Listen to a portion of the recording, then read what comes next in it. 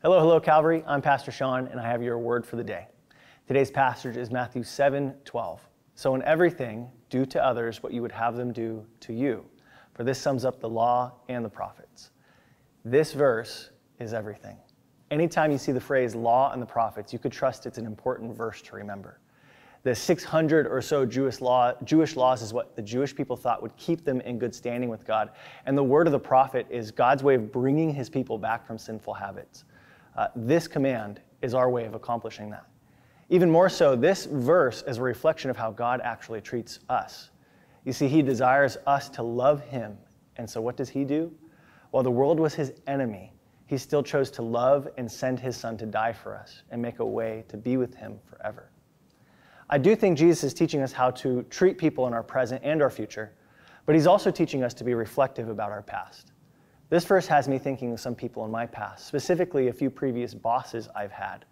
In fact, bosses who have hurt me or done wrong to me, whether it was on purpose or not. And because of those hurts, I've held on to anger and unforgiveness. To be real, I've probably hurt them one way or another in retaliation for their hurts against me. And that was way back when I thought it was okay. Well, God, in His infinite wisdom, eventually put me in charge of people. He had me supervise volunteers, work with parents and students, just so I can learn this lesson the hard way. And you know what? When I got the position where I was over other people, I promised myself I would never be like my previous bosses who hurt me. And in a lot of ways, I was different, but people are still people. Without even meaning to, without even trying to, I ended up hurting people while I was in charge, which I've also learned just comes with the territory of being in charge. It pains me to think back on those experiences because I really, I really wasn't trying to. But God showed me through these people that I have hurt just how hurtful I was to my bosses. Matthew 7:12 brings these lessons full circle for me. Because some people I hurt forgave me, and we grew from that experience, while others, others reminded me of myself.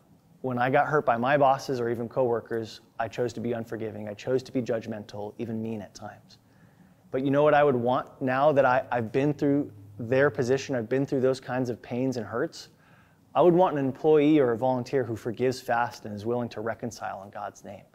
An employee who can still look at me after hurting them, unintentionally or not, and say, I still love you. You need to build back trust, but I still love you. Or one who can say, Hey, you hurt me, but I'm going to try to see it from your perspective, and we can have a conversation about this. Because man, when I dealt with volunteers or parents or employees who are not these things, it made for toxic environments, made for poor work situations. Honestly, I want to call my old bosses and apologize. And maybe that's what I should do because I would love it if someone did that for me. Matthew 7:12, do unto others as you would have them do to you.